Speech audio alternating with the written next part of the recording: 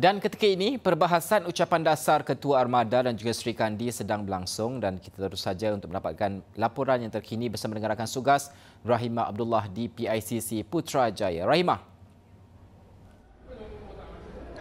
Ya, terima kasih rakan segas di studio hari ini. Merupakan masuk hari kedua bagi Perhimpunan Agung Tahunan Bersatu.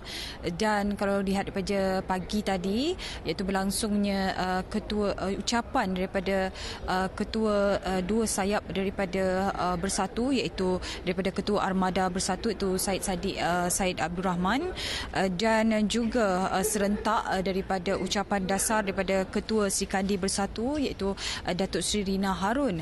Uh, dan dan uh, dalam pada itu uh, pelbagai uh, kata amanat uh, diberikan uh, oleh uh, kedua-dua ketua uh, dasar atau ketua Sikandi dan juga ketua armada berkenaan.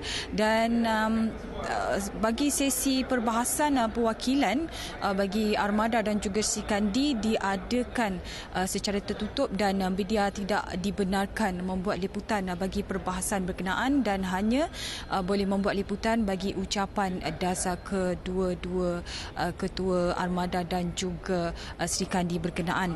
Dan dalam sidang media selepas itu ketua armada bersatu itu Said Sadiq Said Abdul Rahman berkata beliau akan membawa cadangan supaya mengadakan perbahasan perwakilan secara terbuka kepada pimpinan tertinggi parti. Ia berikutan katanya perbahasan perwakilan bersatu armada dan Sri Kandi pada Sabtu iaitu pada hari ini yang tidak membenarkan media membuat liputan. Kita ikuti apa kata beliau.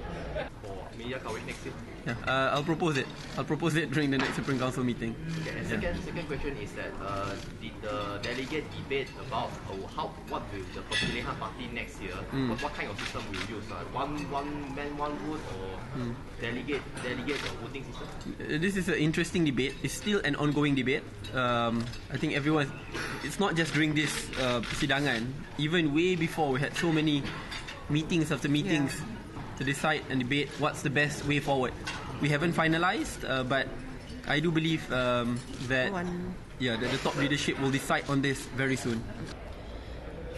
Dan uh, dalam pada itu uh, ketua Sri Kandi Bersatu itu Datuk Sri Rina Harun berkata beliau bersikap terbuka kepada perbahasan. Kita ikuti apa kata beliau.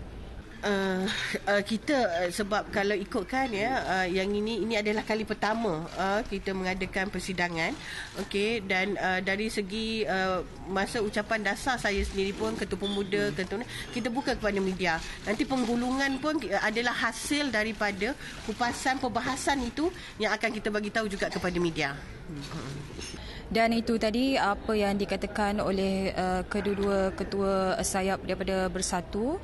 Dan apapun uh, pada hari ini uh, dua ketua sayap uh, berkenaan menyampaikan ucapan dasar masing-masing dan memberi peluang kepada media untuk membuat liputan dan namun perbahasan usul perwakilan dibuat secara tutup dan media tidak dibenarkan untuk membuat liputan. Saya rasakan itu saja laporan saya daripada Putrajaya kembali kepada rakan sugas di studio. Silakan.